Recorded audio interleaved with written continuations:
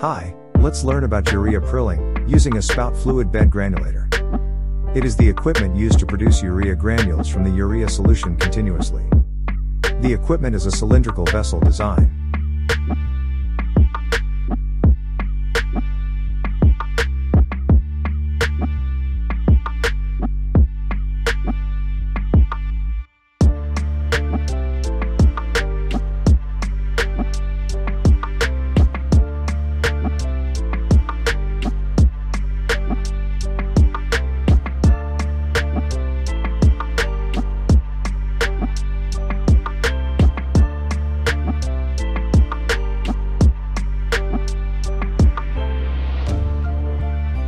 At its bottom the spouting air, fluidizing air and urea solution feed, provisions are provided.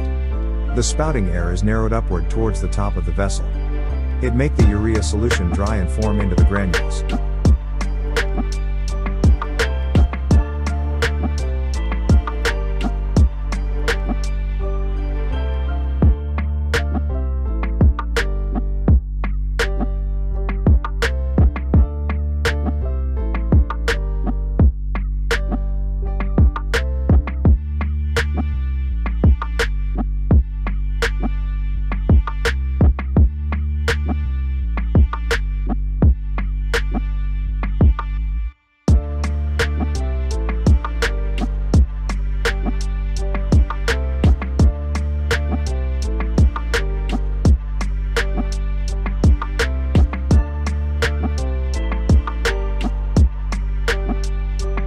The dry air cools and solidifies the urea to granules.